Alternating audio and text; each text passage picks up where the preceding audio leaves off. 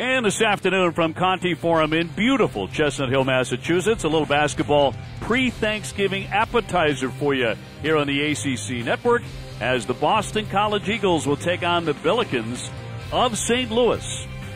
Dave O'Brien alongside Malcolm Huckaby. Thanks so much for being with us, everybody.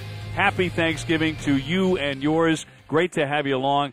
Great to be with you too, Malcolm. I got to ask you about the stat line that Hasahn French, the standout junior for St. Louis, put up recently. Laid that one on the table because it's pretty amazing.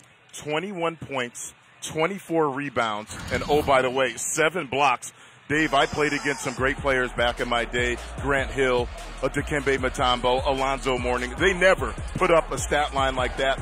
Uh, simply put, he was dominant against Belmont. He's long, athletic. He's got great timing uh, on his shot blocks. And then when he gets into paint, he can finish with the best of them. Uh, one of the most dominant performances we've seen in a very long time in college basketball.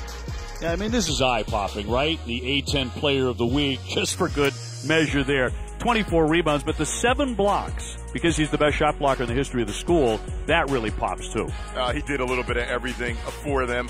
Uh, but on the other side, Boston College, Steffon Mitchell, uh, he is one of the better rebounders in the ACC, close to 10 rebounds per game. Job number one, two, and three for him. Keep French off the offensive glass in that game versus Belmont where he had 24 boards. Nine of them were offensive.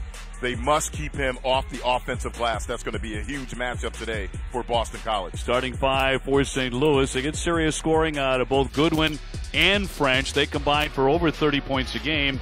And for Boston College, they're missing a key man today. A starting guard, Jay Heath. That's 13